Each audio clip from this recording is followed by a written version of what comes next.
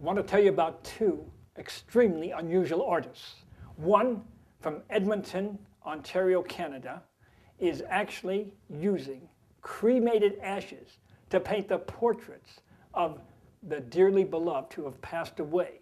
He only needs a tablespoon of ashes and takes 200 hours to create these fantastic portraits. The cost, about $5,000, but those who have purchased the portraits say it is better than just keeping the ashes in an urn, that they have the essence of the individual in a portrait for all time. You know what I think? Sensational idea. Now we have another artist, Cheryl Capituzzi in Pittsburgh, Pennsylvania, who uses dryer lint to sculpt various models of animals, humans, etc. Not only does she use dryer lint that she herself obtains locally, but people from around the country are sending her the lint.